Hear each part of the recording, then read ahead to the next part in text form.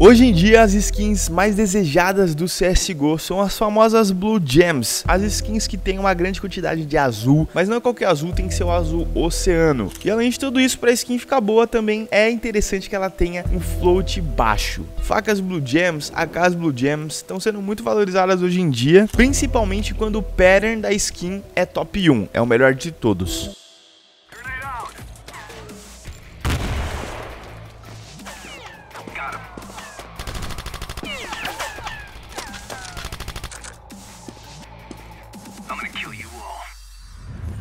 Keydrop, o site para você abrir caixas e ganhar skins de CSGO. Acesse agora com o link da descrição e receba 5% de bônus no seu depósito com meu código.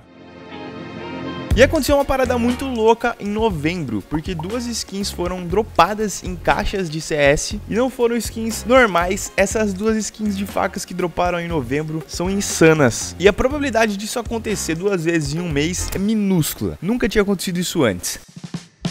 Uma Skeleton Blue Gem com o pattern 403 e um float bem baixo de 0.17 foi dropada apenas há duas semanas atrás, no mês de novembro. E logo depois dela, 10 dias depois aproximadamente, outra faca com o mesmo pattern 403 foi dropada, só que dessa vez um float bem mais alto de 0.85, o que é Battle Scarred. Fazendo uma busca pelas Skeletons 403, né, esse pattern, que é o melhor pattern de Skeleton Blue Gem, a gente encontra que agora são quatro facas, sendo que essa última que eu mostrei pra vocês aí, float 0.85, foi dropada seis dias atrás. Nós já vamos dar uma olhada no inventário desse colecionador. E a outra 0.17, que foi dropada 17 dias atrás, é na verdade a melhor Skeleton Blue Gem do mundo. Basicamente não tem faca melhor do que ela.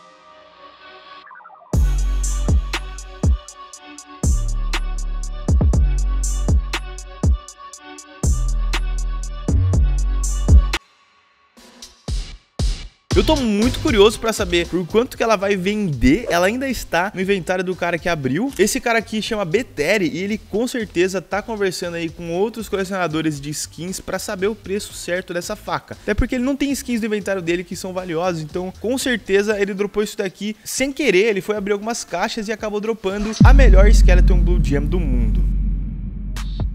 Pra gente saber o preço dela, a gente vai ter que esperar vender ao certo, mas eu tô ligado no preço dessa outra faca, que é Stat Track. O float dela é 0.26, então essa daqui Stat Track com float pior deve vender mais ou menos pelo mesmo preço daqui não é Stat Track com float bom. E acontece que eu conheço o colecionador que comprou essa Skeleton, ele adquiriu essa faca aqui diretamente do Zippel e o valor da negociação foi de 100 mil dólares. Então sim, estamos falando provavelmente de uma transação que vai ser perto aí de 100 mil dólares por essa faca que esse cara acabou de dropar. Que drop absurdo, meu amigo. Já a outra faca, Battle Scar, né? A gente tem uma situação bem parecida. O colecionador também não tem skins high tier no inventário dele. Pelo float ser alto, né? Tem mais desgaste. O valor vai cair bastante. Dá pra gente perceber, assim, comparando na tela de inspecionar e dentro do jogo, que o desgaste é bem aparente. Mas tá bom demais, né? Você tá doido. Como é que foram dropar duas facas com o mesmo pattern no mesmo mês, sendo que essa faca é raríssima. A chance de acontecer isso é minúscula. Só que no nosso mundo de skins CSGO mesmo, que essas doideiras acontecem. Então não esqueça de deixar um like nesse vídeo, porque eu vou atrás de descobrir por quanto que essas facas vão ser vendidas, já que tudo indica que esses dois colecionadores não vão ficar com essa skin no inventário deles e vão acabar vendendo por dinheiro. A gente se vê no próximo vídeo aqui no canal. Um abraço, falou!